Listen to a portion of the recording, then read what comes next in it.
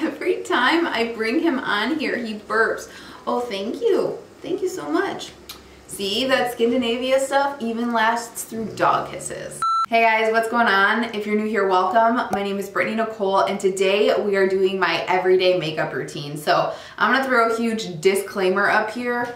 I don't wear makeup every day, okay? I said it. I wear makeup once, maybe twice a week, and most of the time it's when I'm doing a YouTube video or I have a work meeting and I need to look presentable. So when I say everyday makeup, I mean my makeup that I throw on when I need to look presentable. So I'm not throwing glitter on the eyes. I'm not putting on false lashes. I'm not throwing on a matte red lip. You know what I mean? This is just the makeup I go to. It's reliable. I've been using it for a very long time that I know will last me all day and I think you guys will love it as well. So if you are interested in seeing my go-to everyday makeup products, go ahead and keep watching. Hi, bud.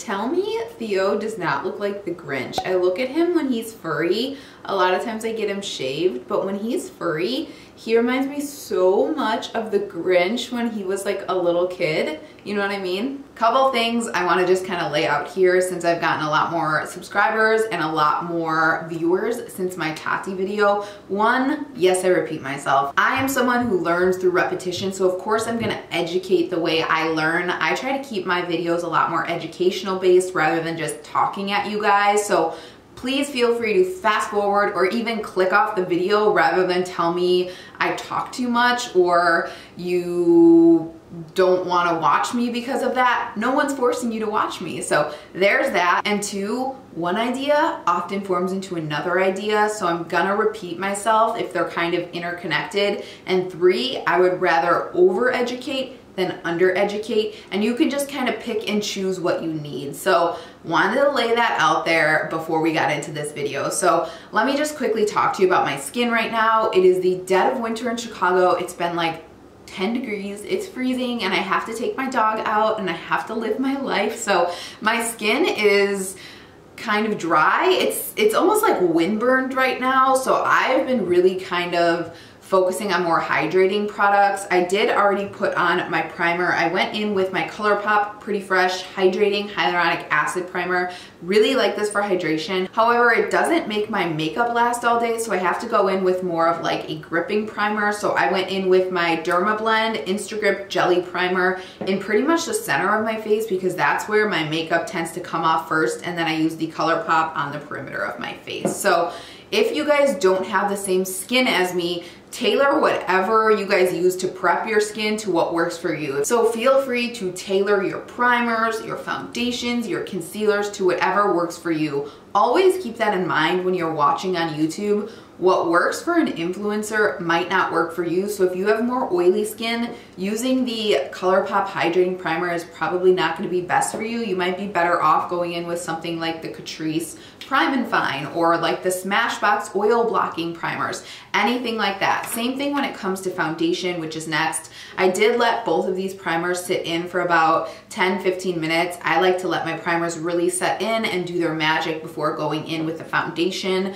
So I do that. If I'm in a rush in the morning, I'm not gonna do that. I'm just gonna throw it on my face. Usually I won't even use a primer to be honest. I'll just go in with my Embryolisse moisturizer, which really works well as a primer. Let that sit in for five minutes and go right into the foundation. But I had the time today, so I went ahead and did it. So next up for me is foundation.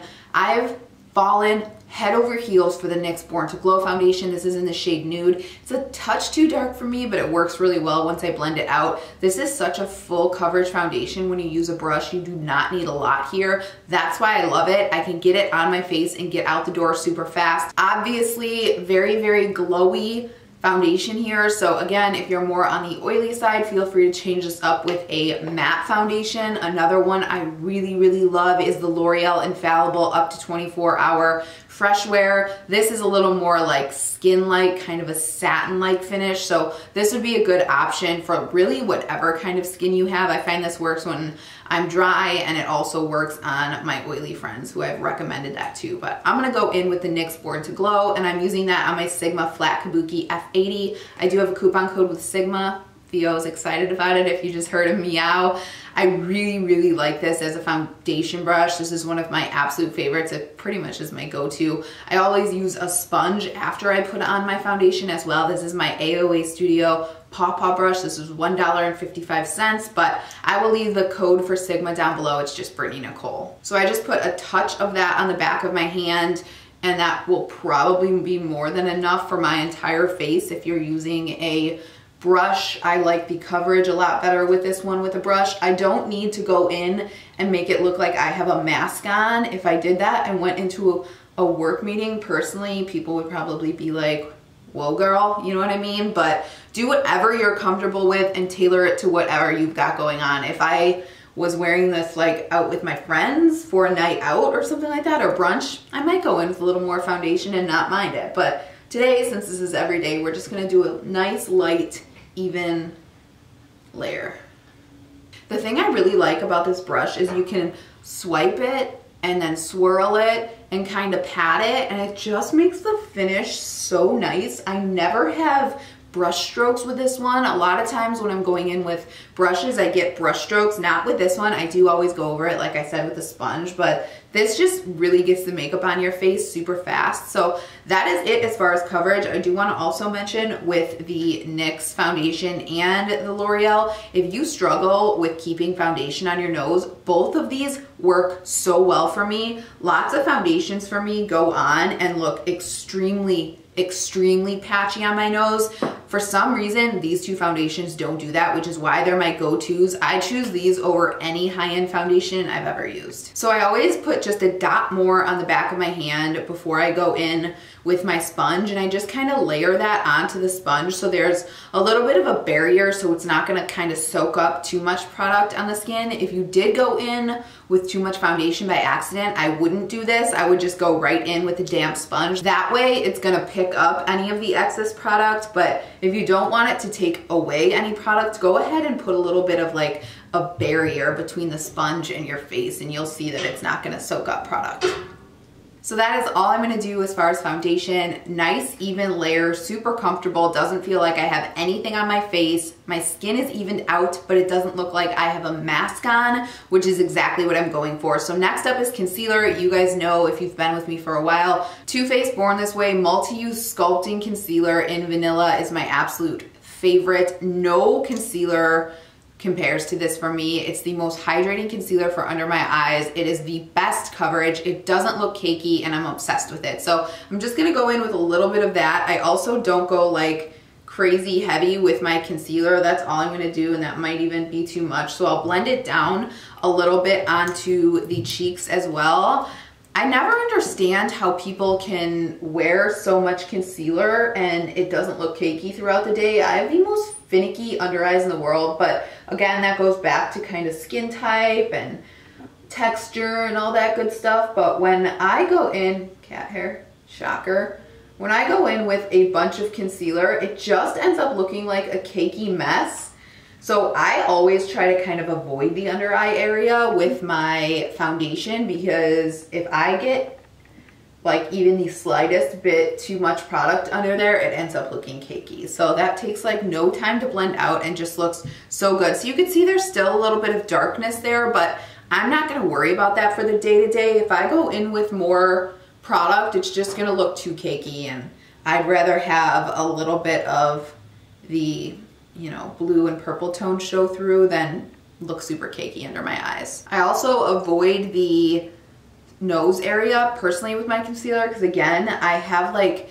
dryness and texture on my nose that doesn't hold foundation well and it certainly doesn't hold concealer well. There's no concealer I found that goes over my nose well so I completely avoid that area. I find rather than piling on foundation or concealer on the nose if you're drier or if you have texture or like redness on your nose like I do is a lot better than trying to layer on the products to cover it up because then it just looks like a cakey mess on my nose especially. So if you're struggling with that, try to use less product on the nose than more product. I know some people recommend going in with like concealer first and then foundation. I would just recommend going very, very lightly over the nose and then you have a nice kind of even texture on the nose rather than super cakey, super full coverage. So I'm gonna go in and set the under eyes now. I really love the Ilia Fade Into You Soft Focus Finishing Powder. This has been the best powder I've used in a long time. I only go in with the slightest bit here. I don't want to bake. I just really want to make sure I don't get excessive creasing. So I always go in and I look up and I try to stay looking up, which can be kind of a challenge when you're trying to dip into a powder. Like I'm gonna have to look down right now to grab it, but I try my best to look up and I just grab minimal product and then I look up so I kind of look kind of creepy, you know what I mean? I'm looking up so I'm not like forming any creases because when you're looking down, creases are gonna form. And then I just gently push that into the skin. And then I'll bring it down right next to the nose area. I hope to God that's focusing on me and not the compact.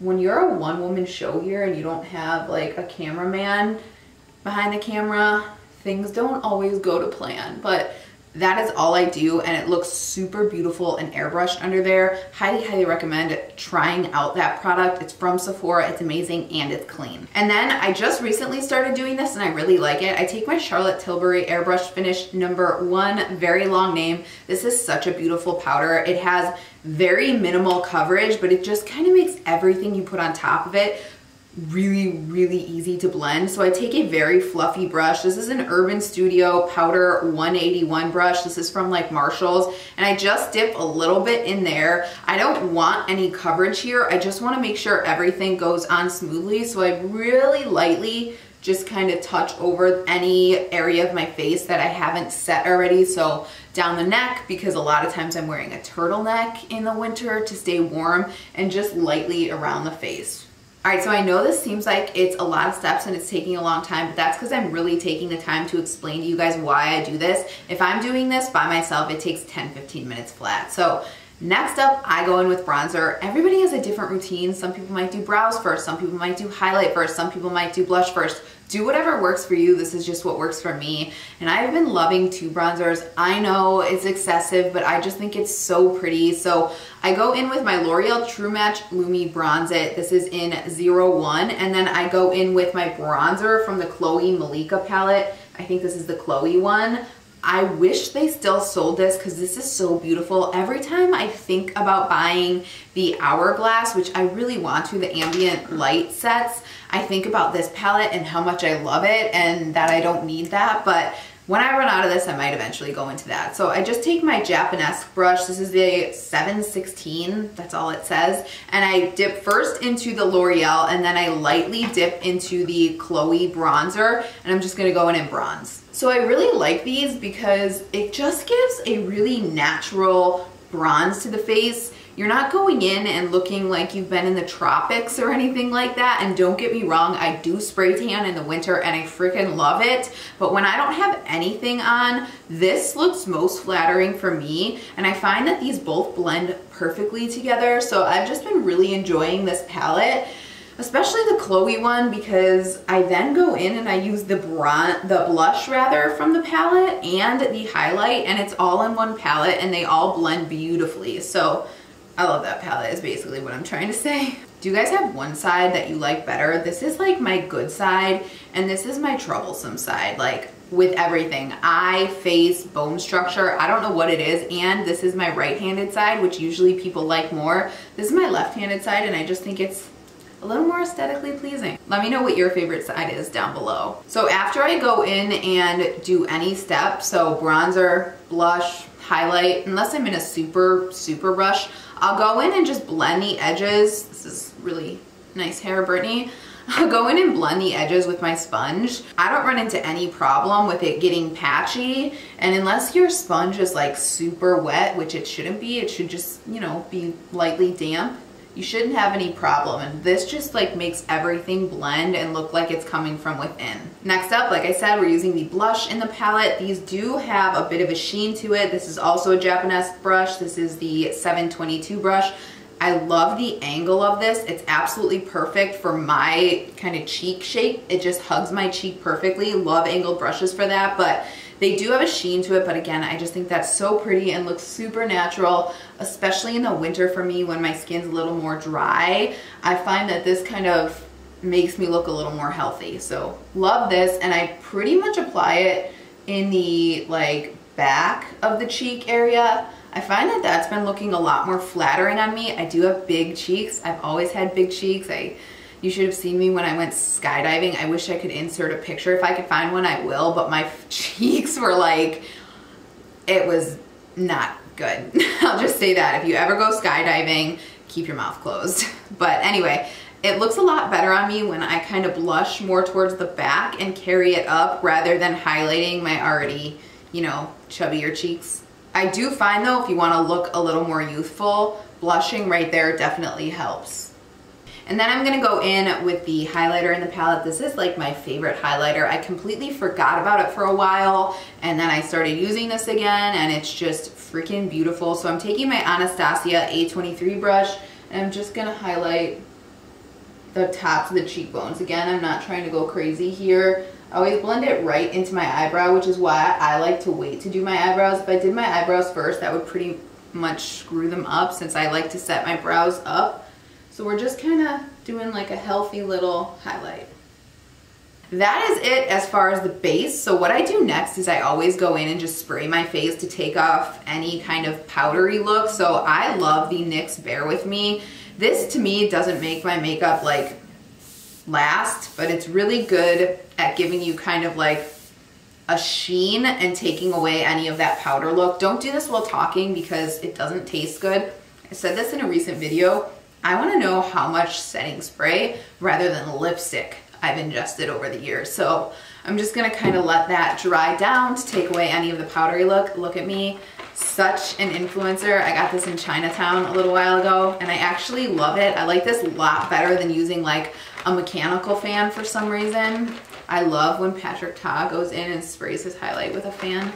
Ugh, that to me is just like the most pleasing thing in the world. So I just let this dry and you could see I kind of have a little bit of sheen to my face again. It just takes away any of that powdery look, which you don't want. So at this point, I would go in and do my brows. So I use two brow products these days. I use the ColourPop Brow Boss in taupe and I pretty much fill everything in to basically outline the brow and then I deepen the outer kind of, mm, like fourth and I kind of fade it in with the Maybelline Brow Ultra Slim in medium brow. This to me has just been the absolute perfect combination. I think my brows look better than ever. And then I'll go ahead and set that up with the Benefit 24 hour brow set. I've been praying to the makeup gods to come out with a mini version of this and they finally did. Like my prayers have been answered with this. So this is $12 worth every single penny. It is like glue for your brows. I don't like anything better than that. So anyway, I'm just gonna go in and fill in with taupe and then I'll deepen with medium brown. All right, brows are done. Are they perfect? Nope. Do I care? Nope. So let's go in and do the eyes. Now I do not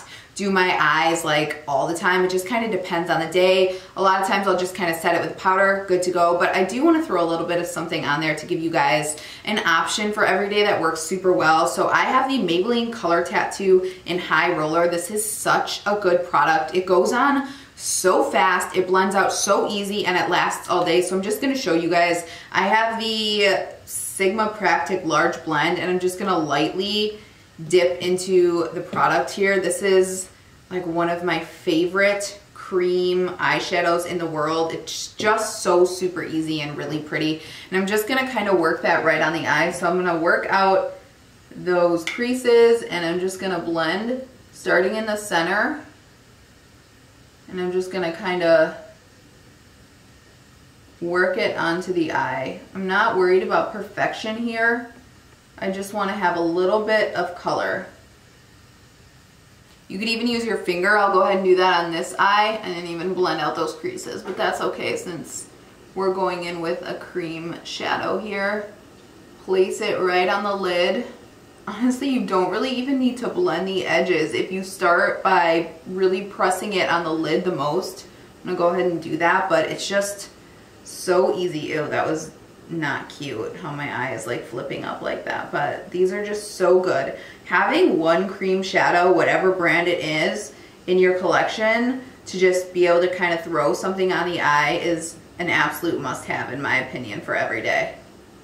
I'm also gonna smoke that under the eye. This, I don't know why I just went like that. It's cream shadow, it's like force of habit, but this is a BH Cosmetics number 10 brush. This has lasted with me, or stayed with me rather, since I was 16. I bought this at IMATS in LA, like back in the day when Corin Zander was still on here and like Elle, I forget her name, like all that glitters or something like that. I, I can't remember, but I bought this at that IMATS and I still have it. And I always make sure to just kind of connect it right to the outer corner like that. Super simple, nothing crazy. We've just got a little bit of dimension going on. I'm taking that same brush, dipping back into the Chloe highlighter. I'm gonna throw that on the inner corner just to brighten that area up. Even if I don't wear shadow, I always brighten my inner corner for an everyday look. It just makes you look a little more awake, which I appreciate. All right, I'm just gonna go in and curl the lashes. This is just a random MAC lash curler. And I'm gonna throw on my Thrive Cosmetics liquid lash extension mascara. I love to use that when I have nothing else going on, very kind of everyday look, and I'll really kind of beef up the lashes. That mascara is amazing. I've talked about it a million times on my channel. I'm pretty sure I just got something on my lashes, but that's okay. We're gonna ignore it. This stuff is so amazing. It really gives you length and volume with your lashes. It's amazing. I'm gonna do this off camera, but just take a look at my eyes right now and just wait. When I put this on, it's gonna look like I have lash extensions on.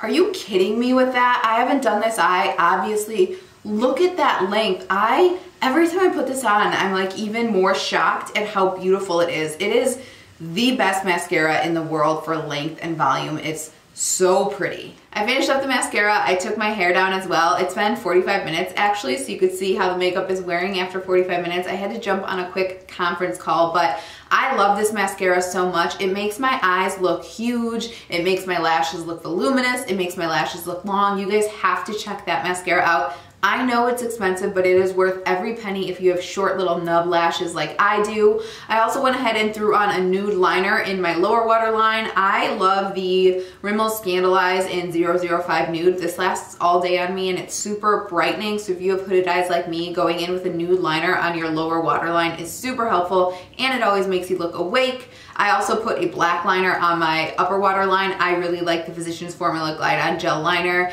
in Black Velvet. You can go in with a brown here as well. That's just personal preference. I think black just kind of makes my eyes pop a little bit more, but I do stop that right about here because I don't want it to like goop up in the inner corner throughout the day. I hate that look, so I try to avoid that, but do whatever works for you. I also added a touch more highlight just to kind of make that pop as well. But let's move on to the lips. I'm gonna go in with MAC Whirl Lip Liner. I'm not gonna line like super harsh here. I'm just gonna kind of give my lips some shape and then I'm gonna pop on some of my Believe Beauty, what color are you? Satin Crush lipstick in Vintage Romance. Whirl is like one of the best lip liners.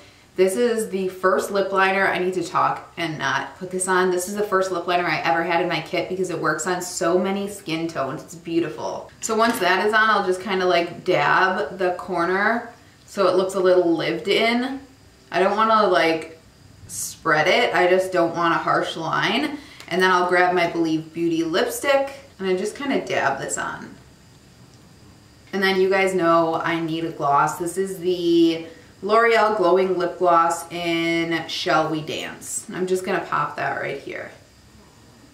All right, so makeup is complete. If you wanted to add anything at this point, you'd wanna do that before you went in and set. So if you wanted to touch up your bronzer, your highlight, your blush, anything you'd wanna do, do that before you set it. I think I'm good to go right now. There's nothing I wanna change. I'm happy with it. So I'm just gonna grab my Skindinavia makeup finishing spray. I think Skindinavia makes the absolute best setting sprays in the world. The bridal one is my absolute favorite. This is the bridal one. I just used up all of the, they send these little freebies and I used it all up and then I refilled it with my bridal setting spray because it lasts the best in the world. I'm pretty sure Skindinavia makes Urban Decay All-Nighter, but I think the Skindinavia Bridal is the best. I've used that on my brides when I used to do makeup and they would like send me an email or a text or review me on like the knot or something like that and say that they woke up the next day and their makeup was still put. So check it out if you haven't. So I'm gonna do that off camera and then I'm gonna come back here and I'll show you up close and personal what my face looks like. I just realized I had a piece of like everything bagel seasoning in my teeth for this entire video. So that's really embarrassing. But if you guys, on the other hand, don't know what the everything bagel seasoning is from Trader Joe's, check that shit out. It is so good. I had it on my eggs this morning. I love nothing more than everything bagels in the world with avocado and tomato and cream cheese. Oh my gosh, my mouth could water right now, but sorry about that. I didn't know that was in my teeth until I got really up close and personal. So anyway, this is what the makeup looks like. It looks super pretty, super healthy. I have hair in my eyelash, but I really, really like this for every day. You just look really put together. You don't look overdone. Skin looks healthy. This is exactly the type of makeup that I go for on an everyday and I really, really stand behind all of these products. A lot of them will be in my year-end like favorites video, so make sure to subscribe for that. I'm also gonna be posting a video probably next about my non-makeup related favorites. So I just want to kind of change things up for you guys and there have been a lot of like cozy winter things I've been loving that I'm going to share with you in that video soon. So again, make sure to subscribe and ring that bell for notifications because YouTube does not like to let you guys know when I post videos sometimes. And then also make sure to follow me on Instagram because I will always let you guys know when I post a new video on there first. And I also give you like sneak peeks of my favorites on my stories and my animals are all over my Instagram. So thank you so much for watching you guys. If you have any questions, as always, please let me know below. Otherwise, if you're interested in seeing any more videos from me, please subscribe. It means the absolute world to me and I hope to see you in the next one. Thanks again for watching. Bye-bye.